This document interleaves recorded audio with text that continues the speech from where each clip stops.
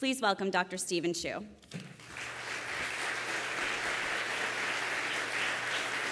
Right, pleasure to be here. Um, and I want to talk about uh, how innovation has changed the world. And it's done so in remarkable ways. Um, and there are two points that innovation lies at the heart of the wealth of a society, and that innovation, science and technology, research and development lie at the heart of innovation. So let me start by reminding you of what um, a Nobel laureate in economics wrote about. This is a person I ran across many, many years ago, became an admirer of his, and he showed, and what he got his Nobel Prize for, is that increases in productivity were due to technology development. And so the issue at the time was the feeling that if capital investments uh, were uh, matched to the uh, labor force, uh, one can actually grow in productivity. But he said that's not really true because you put the capital investments, make a new factory, whatever, uh, you produce more goods. But in the long run, what really matters in terms of prosperity and productivity per person is that you've got to get better at doing what you do. If you just do the same, uh, produce the same amount of cars for the same amount of workers, it doesn't really matter where the capital is going because in the end it just averages out and the productivity per person has to increase because you're getting better at it. And for that you get a Nobel Prize. Um, and in fact, he went a lot further to say that uh, it, you get a Nobel Prize for that because it flew in the face of uh, uh the mainstream economists of the day. Uh, and they showed that well over half the growth in the United States uh, was due to uh, technology developments, and particularly knowledge uh, technology. And so what he showed by looking at case histories is that indeed it, appeared to be true. So I'm going to describe a few things, innovations that really transformed the world, perhaps not stressed as much by historians who are not uh, scientists or engineers, but I think some of these things actually changed the world far more than who was president or king or whatever. Um, I'll start by uh, an inaugural address given by William Crookes in 1898. He's the president, he was just made president of the British Association for the Advancement of Science, and he starts his lecture by saying that England and all civilized countries are in deadly peril. And what did he mean by that? Europe had depleted soils, uh, even though they knew that you could take manure and other things and compost uh, that was not enough to inert the depleted soils, and the agricultural productivity in England and in uh, Europe was declining. Uh, but what they did is they found that there were other sources of fertilizer. Uh, they used to import uh, bird guano from South America. That's a technical term for other stuff that birds do. And, um, and then they uh, latched on saltpeter from Chile and this is a nitrogen compound which seemed to really work very well. Um, and so there was a brisk business importing uh, saltpeter from Chile. But he said he did a little calculation. Said, you know, in 10 or 20 years, 30 years maximum, based on the rising use of this uh, incredible resource, Europe will run out. And he predicted that first hundreds of thousands and then millions of people would starve to death. So he said in his lecture, it is the chemist who must come to the rescue.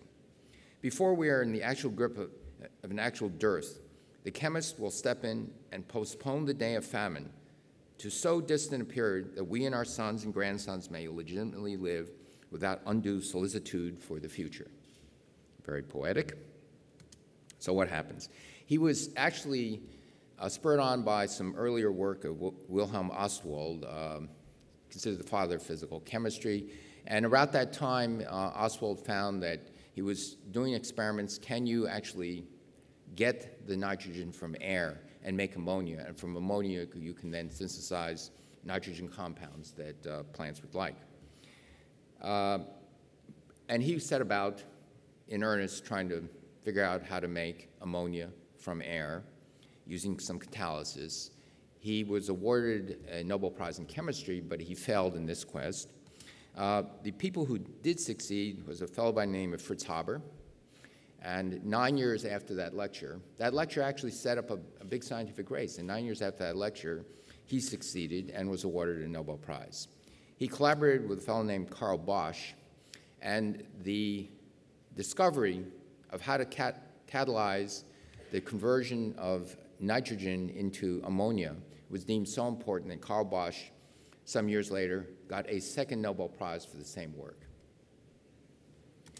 It, it was deemed even more important than that because a couple of years ago, there was a Nobel Prize awarded for catalysis, and uh, it went to Gerhard Ertl. And in the announcement of the Nobel Prize, they said that at last, through Gerhard Ertl's work, we now are beginning to understand microscopically what is happening in the Haber-Bosch process. Two and a half Nobel Prizes for making fertilizer because it was that important. All right, so there was a more a recently a science um, uh, set of articles uh, devoted to population, um, July 2011. And um, this is the population of the world from the beginning of the Industrial Revolution, roughly 1750 till um, the present time. And uh, the Haber-Bosch process was invented where you see the arrow. At the beginning of the Industrial Revolution, there were 700 million people. By the end of this year, there will be 7 billion people, 10 times as many. And without fertilizer, we'd be in deep trouble.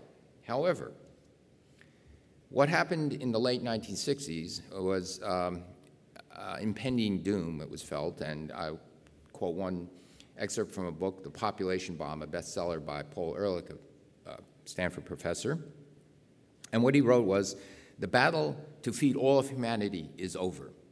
In the 1970s and 1980s, hundreds of millions of people will starve to death in spite of any crash programs embarked upon now. So what happened? Well, two years later, Norman Borlaug was awarded a Nobel Peace Prize. Why?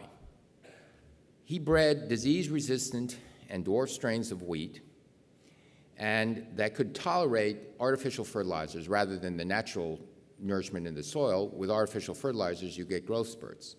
With these growth spurts, the standard wheat uh, grew so fast it would flop over and die. So he made dwarf strains of wheat uh, with heavier kernels, and you see in the right-hand picture on the left-hand side, in his, left, in his right hand, uh, are much heavier kernels. And he made them dwarf with thicker stems so they would not keel over. So these plants could deal with artificial fertilizers, and they much higher yield. Um, now, his work actually got criticized later by other, other groups because with these bred strains of wheat, and then it was then used to make better strains of corn, better strains of rice, uh, that led to monocultures where instead of using whatever indigenous wheat you had, uh, you said, okay, these are but much better yields, and uh, it uh, allowed fertilizer use. And so he was criticized for monocultures. Uh, it was uh, against the biodiversity that people, some people liked, many people like, and uh, fertilizer. So he wrote later in life, some of the environmental lobbyists of the Western nations are the salt of the earth, but many of them are elitists. They do their lobbying from comfortable office suites in Washington or Brussels.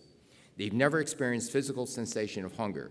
If they lived just one month amid the misery of the developing world, as I had for 50 years, they'd be crying out for tractors and fertilizer and irrigation canals. So this is the world grain production from 1960 to 1970, no, to 2005. The population more than doubled between that period of time. The upper curves, the yield and production, the blue and red curves are the average yield. Uh, this is not just the United States. Uh, in India, Pakistan, Mexico, the average yield went up five times per acre. The other stunning thing is uh, you actually see the area harvested and seeded, and during that time, when the population more than doubled, food production quadrupled, grain production, the amount of land put under cultivation remained the same. A true revolution. all right? And so, to be sure, uh, well, first hundreds of millions of people didn't starve to death. People do starve to death, but it's more an issue of economic distribution than it is of the ability to grow food. Now, but are we really postponing the inevitable crisis? Haber-Bosch and artificial fertilizer allowed the population to grow from the beginning of the 20th century to the mid-20th century, and the population has grown even further. If you look at a graph like this going back a million years, of the human population, you get the sense of, hmm, are we going out of control? Uh, between 1800 and 1930, and you go one to two to four, we're now at 7 billion people, and it will take only 13 years to add another 13, uh, to add another billion people. So if we just postponing kicking the can down the road, and this is really what we're facing. So the good news is no. Um, if you look at the projection of population growth, it begins to slow down. And by mid-century, we are predicting 9.3 billion. And by the end of this century, it's actually projected to plateau and begin to decline. And in a number of developed countries, the population is already declining. In fact, in some countries, which don't have boosts from immigration, uh, it, they are very worried about the decline population. In one country, the fertility rate is now going down to 1.1. Now, just as a, I'm a physicist, but a lesson in biology, the fragility rate is, uh, in order to get a, a, a, steady state population, you need something about 2 to 2.2. You actually need 2.1 to 2.2. You know, every two people produces another two people. All right? So you got two people producing one person. Uh, and so, what are the reasons? Well, the reasons are multi and varied. Um, my theory is, well, here's, here's first what the correlations are. Uh, a very strong correlation between the fertility rate and the amount of women who are educated. And what is plotted on the left-hand side, the percentage of girls enrolled in secondary schools. And as the percentage goes to 100%, the total fertility rate actually goes below 2. Uh, the other thing is fertility and poverty. Uh, the poorer you are, the more children you have, because in a very poor country, you don't expect all your children to uh, survive childhood. And uh, that is also part of your Social Security. So you have six or 10 kids, and maybe four or five of them survive, and maybe one or two of them would be willing to take care of you. Uh, and in the modern prosperous world, it's a very different story. When you have children that are born, you expect them to live a full adult life. And the other thing is, they expect you to put them through college. Also, uh, with uh, uh, against poverty um, is things like other distractions like television and late night TV, and that may have an effect on fertility. But never mind. okay, um, the provost spoke about transformative technologies. Uh, let me tell you of uh, transformative technology.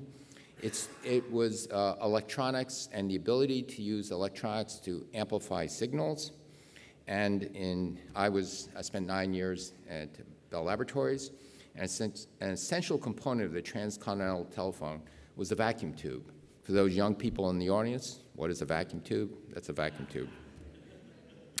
Um, and um, Bell Laboratories uh, um, bought the patent for the vacuum tube. It was ironic because uh, Lee DeForest, the inventor of the vacuum tube, actually didn't understand how it worked he thought that this blue glow in the thing was part of the mechanism, and the blue glow was, glow was due to electrons hitting residual gas that made the vacuum turn up, tube burn out faster, but never mind that.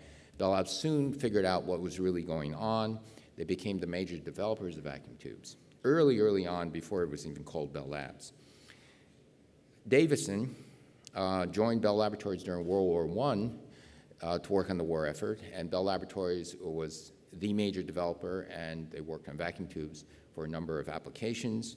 He liked the company, he liked the atmosphere, he liked the idea that you have some freedom, and if you, even though you were there to improve the technology and get uh, a product out, you could take little diversions. Uh, so he stayed at Bell Laboratories after the war. And then in the uh, few years after the war, there was a, uh, a proposal that, uh, that had to do with the fundamentals of a new theory of microscopic matter called quantum mechanics. And it said that you have to describe these particles, like atoms or electrons or so forth, that they had particle-like properties, but they also could be described and need to be described in terms of a wave equation, a so-called Schrodinger equation. Before Schrodinger wrote down the equation, de Broglie said that based on a simple other arguments, you were led to believe that they, these particles had to have wave-like properties. And, um, and so what Davisson and his technician Lester Germer did is they took these electrons from the vacuum tube they scattered them off a piece of metal in this tube and measured how they reflected. And lo and behold, they found that these electrons reflected and obeyed the same laws as Bragg diffraction, which how the way X-rays uh, were scattered off of a crystal. And so they said, oh my gosh, this is exactly the same because it's wave properties of those X-rays that actually allow you to derive those laws of Bragg diffraction. So he gets the Nobel Prize for this. Bell Lab's first of over a dozen Nobel Prizes. Um, now, but the root of the matter was Bell Laboratories was trying to make better vacuum tubes. The essential part of a vacuum tube is you take a piece of metal, a wire, and you heat it red hot, and electrons come out. And then you collect the electrons on a plate, and you put a little wire mesh in between where the electrons are coming from and where you're collecting. And by adjusting very small amounts of voltage and current in this little grid, you can modulate how many electrons get across the side. That's the essential feature of how a vacuum tube, a triode, works. But they use a wire and it burns out. It gets really hot.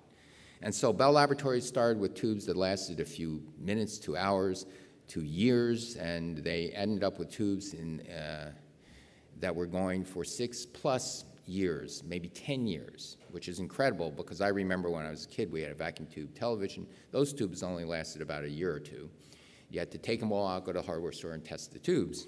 Um, a young, brilliant theorist named William Shockley joins Bell Labs, and he wants to work for the great man Davisson and vacuum tubes.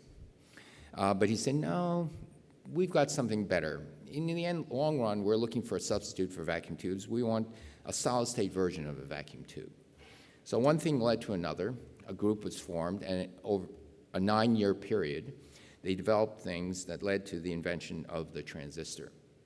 So they did not stumble on this invention. It was a concerted effort that really said, we're going in this direction, and uh, assembled a great number of uh, great scientists. The people who were awarded the Nobel Prize for this, Bardeen, Brattain, and Shockley, are shown here. Now, Bardeen and Shockley are theoretical physicists. Brattain is standing in the background. He's the person who actually did the work. Um, and the reason Shockley is standing there, sitting there, pretending he's actually doing an experiment was because he was the department head. For those of you who want to know, this is what the transistor looked like. It's, uh, it's something only a mother could love.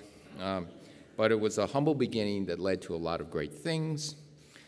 The first integrated circuit was no prettier. In fact, it was a little uglier.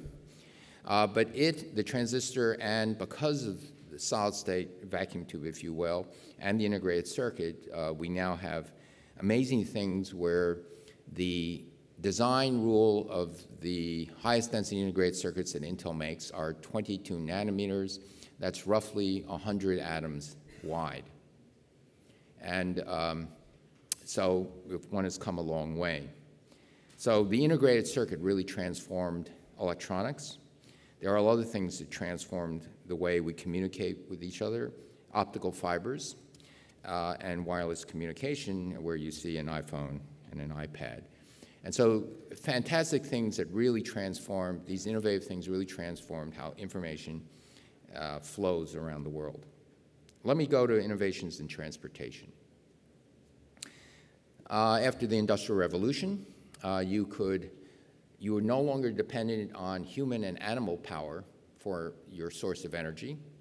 Uh, or, well, th that's not your source of energy. Your source of energy is food the uh, animals and people eat, but never mind that. So that's solar energy and biofuels. Um, but you could actually get tremendously much more power from, for example, steam engines. And here you have a steam engine, and it's uh, at a stop, and it's about to transfer some freight over to a um, uh, more local form of transportation, uh, a horse-drawn carriage. Um, a little bit about the development of the railroad in the United States. Uh, it started, um, as I said, in the Industrial Revolution, but uh, during the bleakest moments of our country's history, the Civil War, you would think that the country could not spare uh, anything and had to devote all its resources to fighting a war. But the country didn't. And in 1862, Lincoln signed the Railroad Act, which said, uh, we will pick two companies, and with these two companies, we will fund the building of a transcontinental railroad because none of the private rail companies were willing to put a railroad across the country to connect California with the eastern states. And it was a huge subsidy, $16,000 in bonds per mile to the rail companies.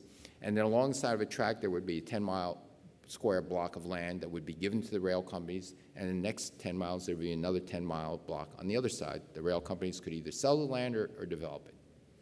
And um, that led to an aggressive building of the railroad, the Transcontinental Railroad, and it was completed in 1869, just seven years later. Nowadays, it would take seven years to get a permit. But by 19, 1870, a journey that took over six months was shortened to less than two weeks because of the Transcontinental Railroad. Dramatic change in transport over long distances. Another, another great innovation was steam-powered ships. And this is one of my favorite paintings by one of my favorite artists, Turner. And it has to do with an old warship um, that distinguished itself in the Battle of Trafalgar is being towed by a steam tug up the Thames to be berthed and then broken up for scrap. And so you see this lovely juxtaposition of the old romantic sailing ships uh, being towed by this ugly, black, belching, iron steam generating tugboat uh, and a beautiful sunset. But just to remind you that uh, sail power was replaced by steam power uh, and that transformed shipping. So the railroad and ships actually began to transport goods and people over great distances for relatively low cost. Let me talk about the airplane. Now, I'm going to start the story not with the Wright brothers. Actually, you can start way back, uh, hundreds and hundreds of years, but never mind. I start with a person by the name of Samuel Langley. Uh, a very distinguished scientist, a mathematician, a physicist, and astronomer. And he got a grant, uh, $50,000 from the War Department and $20,000 from the Smithsonian in 1898. He had been starting to play around with uh, powered gliders. And they said, well, why don't you make a bigger powered glider to make it into an airplane? And so here's some money. Um, and so off he went, trying to put engines on these power, uh, rather scale up the powered gliders to get people on. Uh, this is a picture of a power glider with a person on it being launched off a little catapult in the Potomac. And uh, I don't know if you can really tell what's happening, but that trajectory is going the wrong way. It crashed. And so there was an early crash in October of 2000, uh, sorry, 1903, and um, in December 8, the second crash in 1903, Langley says, this isn't going to work. It's putting the pilot at risk. I give up. Now, after that, nine days later, the brothers succeeded at Kitty Hawk without any government support. Some members of Congress were outraged. I can see it now. The government can't pick winners. What are you doing investing in things? Let business figure it all out and so on and so forth. Uh, so some things don't change, except it's gotten a lot louder. With, but anyway, um, so that's what happened. But that's not the full story.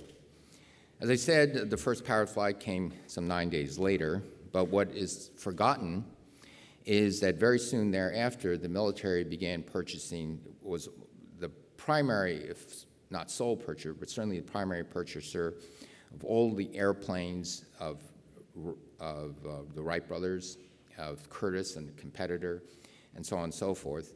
And um,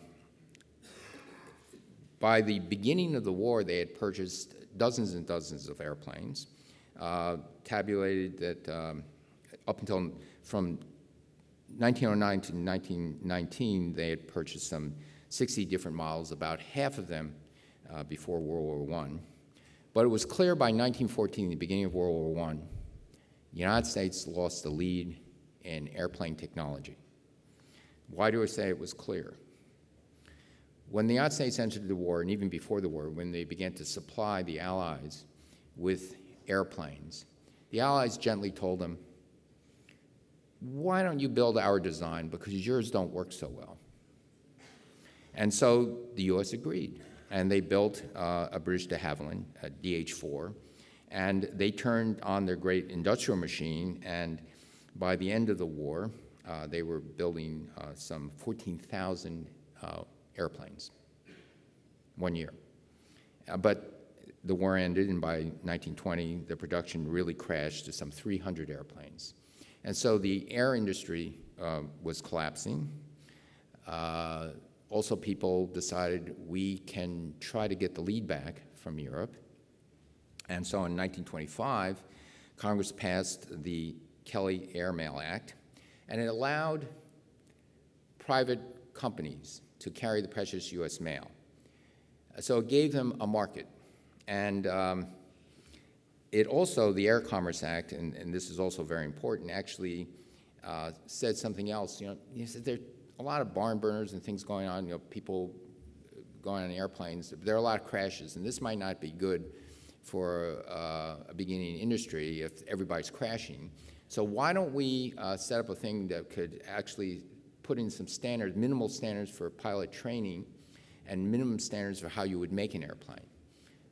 So the big hand of regulation reached in and actually helped save the airline industry because if they don't crash, people are more, you know, even the precious U.S. mail, you don't want your precious mail to crash. So in any case, uh, this is what happened. Um, the airline industry in the United States had a very intimate relationship with um, the commercial airline industry had a very intimate relationship with the military. This is a picture of a test flight of um, a precursor to uh, a tanker plane called the KC-135, built by Boeing, and it's being put through its paces, banking very hard.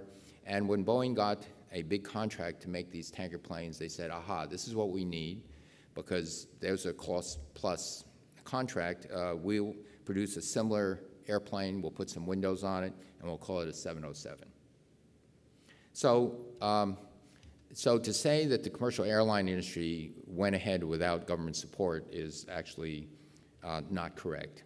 Now, many years later, here's a Boeing 787 that's uh, going to be delivered, I hope, in a, a half year or so. Um, uh, and there was a columnist in the New York Times who wrote an article lamenting we're in uh, a dearth of new innovation. You know, we hear you ganja and omaggio, so to speak. Um, what's going on? Airplanes are pretty much the way they were 40 years ago. Uh, not quite. This one uses only 30% of the fuel as a 707. Other than that, and it flies at Mach 0.85 instead of Mach 0.6 or 7. So other than that, it's the same. Um, the point here is that trains and planes and ships revolutionize the transports of goods and people. You go to the market, you eat, you can eat fresh fruits, you can eat fish, sometimes grown across the United States and other parts of the world, including halfway around the world. Uh, fresh produce and things of that nature. So it really transformed the way people move and the way we move material. Another huge transformation was the development of the automobile. Now, let me remind you that Henry Ford did not invent the automobile or the internal combustion engine. Daimler and Benz did in Germany. But what Ford did do was improve. He didn't even invent the assembly line, but he improved upon it. And with this assembly line, uh, they were able to make high quality, low cost automobiles, and the productivity per worker went up enormously. So let me reiterate what I just said. We didn't invent this thing. We came, became the low cost producer of this object. And because the price declined so much, it actually created a mass market. Daimler and Benz make ex made excellent automobiles. They still do, uh, but not quite reachable to the mass market.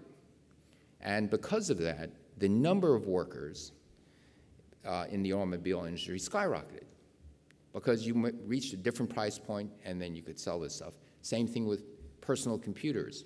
When personal computers cost $10,000, $5,000, nobody bought it. Once they started to cost $2,000, $1,500, it went viral. So now, I didn't read um, Tom Friedman's book. We do talk, uh, maybe we feed off of one another, and we talk numerous times. But let me tell you about something that I visited a, a solar plant in China. It was called Suntech. It was then the third largest photovoltaic producer in the world. Uh, its founder was uh, an Australian citizen. He got his PhD in electrical engineering from the University of South Wales. He was born in China, but he was his higher education was Australia. He went and said, "Well, I want to start a business. I think we can make better solar cells." Australia wasn't interested. China said, "Why don't you come back? We'll help finance this and get you started." So, when I toured the factory, this one happens to be this is one of their factories. It's 100 meters wide by 400 meters long by four stories of production lines. And uh, these are automated production lines, very few workers. Where do they get the silicon? United States. Why? It says, oh, the CEO says, energy in the United States is so cheap, we can't compete with that. So we'll take the silicon, we'll put it into wafers, we'll, put it, we'll dope it, we'll do all the high value, high technology, value added stuff. And oh, by the way, if Germany or Spain and the United States want to assemble these things, that's okay too. We can figure out how to do that because the real heart of the thing we can make, and we can make it better and we can make it cheaper. And in fact, it's not, and I stress also better, right now this company holds the current record for polysilicon solar efficiency, 16.5% going to 18 all right? They took what Henry Ford did and did it better. Okay? And that's actually what they're doing in many, many technologies, uh, in all the energy technologies. And they, remade, they just looked at what the United States playbook was over the last uh, century and a half and said, I think we can do this too. Um, all right, now gasoline-powered internal combustion engine really rapidly replaced horse-powered vehicles. If you look at any energy-related technology or deployment, it usually takes about a half a century to build up the new infrastructure. This one took uh, maybe 20, 25 years. And so you see these pictures in late 1880s, 1890, uh, where it's dominated by horse-drawn carriages. Occasionally you see a horse-drawn cable car or an electric cable car. Um, uh, but by 1920, the scene had rapidly changed. You see in Detroit uh, lots and lots of cars and a few cable cars, and by the uh, mid 1940s to late 1940s, you only see gasoline powered or diesel powered vehicles. Uh, very ra rapid. You also don't see many streetcars uh, during this time. Um, in part because the automobile manufacturers bought the streetcar companies and closed them down. But another thing that hastened the transition to uh, internal combustion vehicles uh, was an environmental pollution problem uh, that would, had occurred. Well, what environmental pollution? This is right, 1910, 1920, 1800. What's the environmental pollution problem? Well, it's horse manure. And in New York City, for example, in 1880, there were um, 160,000 horses producing three to four million pounds of horse manure a day, an equivalent amount of horse urine a day. There were piles uh, in vacant lots that were piling up 40, 50, 60 feet tall. Um, uh, the market for fertilizer manure was saturated, uh, so to speak. Um, and uh, it was piling up uh, so fast and furious that a new business enterprise started. They were called crossing sweepers. And if you were a genteel person in New York City and wanted to cross the street, there would be a little sweeper that would clear a path for you. So you wouldn't have to step on as much horse manure. Um, so it was this environmental problem that actually quickened the transition to the new form of transportation. We have another environmental problem. It may not be quite as visible or quite as an assault on our senses as horse manure, and this is greenhouse gases, carbon dioxide, methane, nitrous oxide. And so you see it's puttering along, puttering along. This is data. Uh, and then it starts to rise. In the beginning, uh, the Industrial Revolution, it begins to climb. Um, so what has happened is that these greenhouse gases uh, trap heat uh, on the Earth and uh, prevent uh, as much of it from escaping. Uh, the other fact you have to know is that we have satellite data over the last 35, going on 40 years, which tracks how much sunlight energy reaches the Earth, not only the visible light, but also the infrared light, also the sunspot activity, the ions hitting the Earth, the microwaves, everything. And they're amazing. There's an 11-year solar cycle, but if you average over three solar cycles, it's amazingly flat. So on the long time scale, we believe that the amount of energy hitting the Earth is constant, but the amount of energy leaving the Earth is less. All right? So imagine the amount of energy you use uh, by metabolism, exercise, whatever, is constant, but, but the amount of cheesecake you eat has gone up. Something will happen.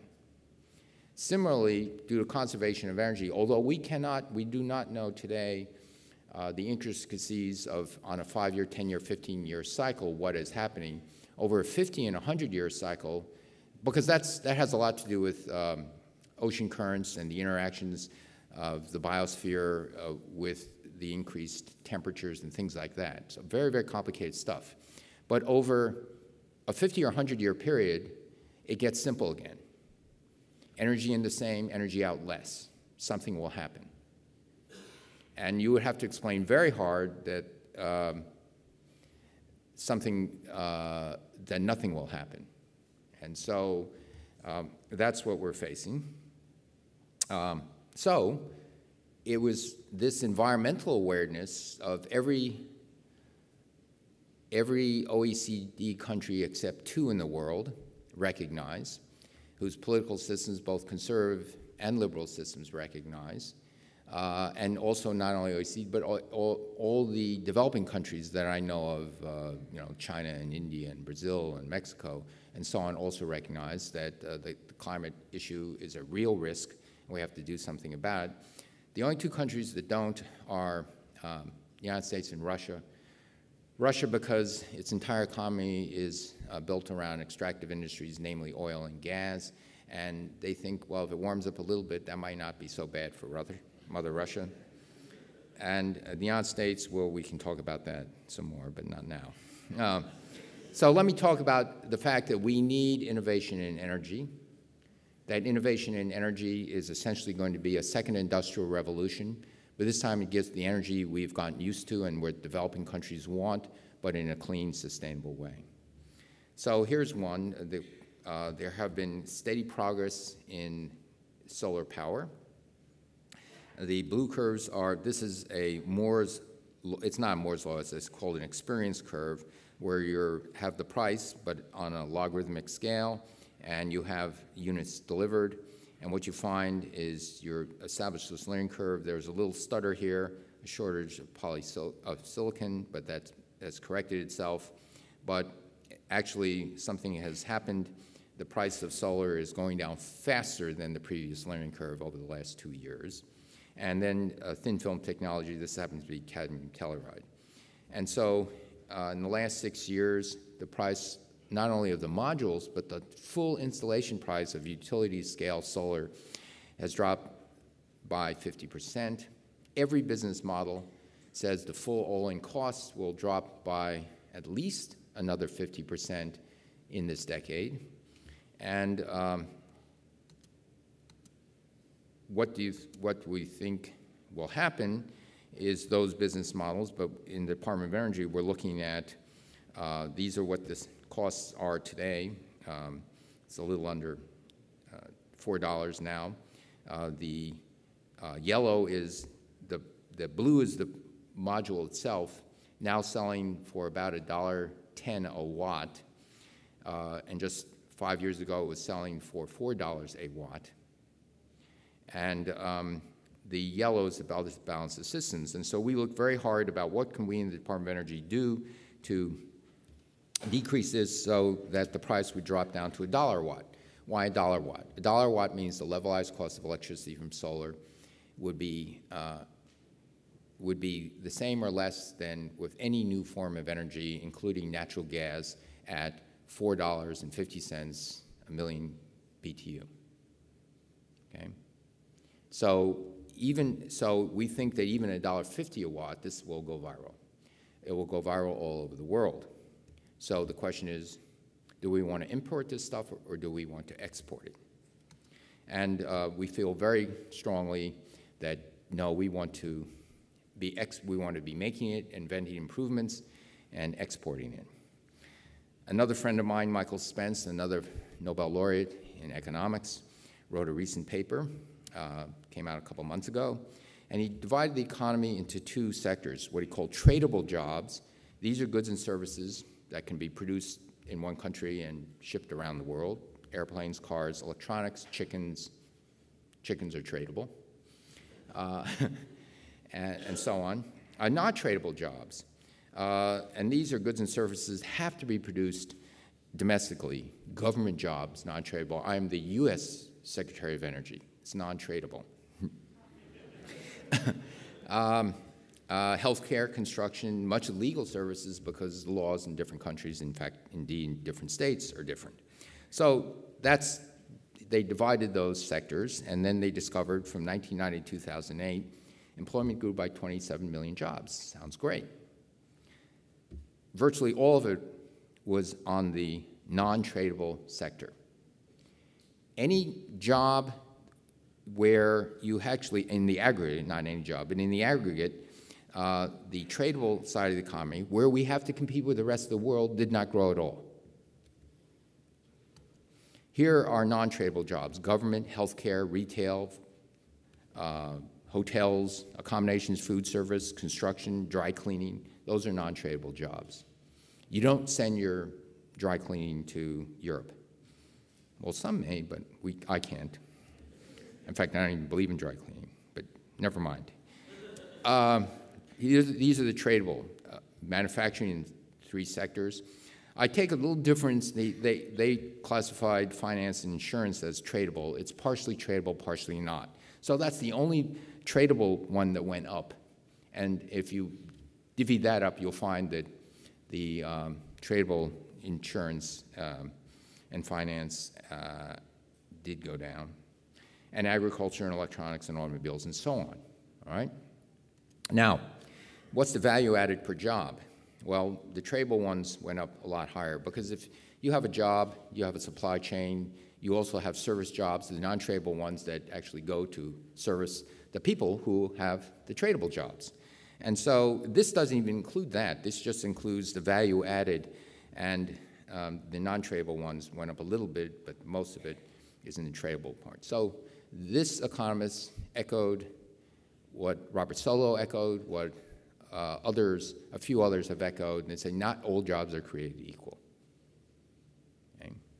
And uh, that's a very important lesson. So let's talk about a few other technologies. Um, Argonne National Lab uh, made some discoveries uh, in batteries. Uh, we invented the lithium ion battery. Both the lithium ion with the cathode being uh, cobalt phosphate and then lithium ion iron phosphate. Uh, the person actually was supported by Department of Energy, but it was Sony that made it commercialized first. And then uh, Japan uh, for, dominated the lithium-ion battery market. Uh, Korea came along, and they're fighting it out. And the United States in advanced batteries, rechargeable batteries, uh, has about 1 or 2 percent of the market, even though we invented it. Uh, we think we can get this one back, just as we got airplanes back. Um, Ford automobiles are actually coming back quite strong. After a near-death experience and after the death experience of GM and Chrysler, we think that they may be able to come back. But, but this grew out of research at Argonne National Laboratory, out of a synchrotron facility. This is a light source based on particle accelerators that were developed for high-energy physics research. It then became to be used for mostly material science research and structural biology research and pharmaceuticals.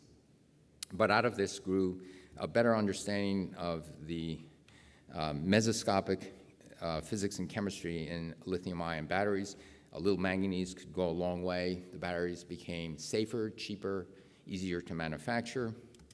Uh, and uh, the rest is history because this first discovery made 10 years ago is now in a Chevy Volt battery. We actually are making a number of other, we're investing in a number of other battery technologies, very, very exciting. As they go around the world, I have to tell you that the best ideas are still coming out of uh, research universities, out of national laboratories, out of inventors in garages. So that part has not changed. We're also using supercomputers to understand very complex airflows. Uh, you all know that these, these streamlining that go above the cabs of trucks uh, took only a year or two became, before they became ubiquitous among truckers. Um, uh, then with additional studies of how airflows go around trucks, one could understand how to streamline the bottom of the truck with a little plastic widget as shown down here. And we think that this will add an additional 7 to 12% fuel savings in long distance trucking just this little piece of plastic. Came out of high-performance supercomputing. Other supercomputers have been used to design high-performance, low-emissions diesel engines with Cummins. Uh, so they skipped the entire build, design, check it out, and redesign and rebuild and check it out step. It was designed on a high-performance computer. They built one prototype. It worked as expected. They went into production. So again, there is real space for technology, and we still lead in this. We have to capture carbon from coal plants, from gas plants, from cement plants, uh, from you name it. Otherwise, we'll be in big trouble. And so uh, how do you decrease the cost of the capture of this? And so you run the flue gases or whatever uh, through something that catches the carbon dioxide it, it, turns out that the rate of absorption of the carbon dioxide on a material, uh, you get a faster rate, but it, it, seems to be proportional to how deeply bound uh, the carbon dioxide is on this material, like an amine. And so wouldn't it be better if you could actually have the carbon dioxide attach very quickly into a fluid or on a surface, and then with very little energy release it? actually you do this, you figured, maybe you haven't figured it out, but you do this uh, every time you exhale. In metabolism, you generate carbon dioxide. That carbon dioxide has to be transported out of the body. There's an enzyme called carbonic anhydrase that increases the rate of absorption of the carbon dioxide into your bloodstream, goes to your lungs, you just exhale it. You're not heating up anything. It's all done at body temperature. Uh, why can you do this? It has to do with the free energy of what's allowed, but it's the magic is in the enzyme.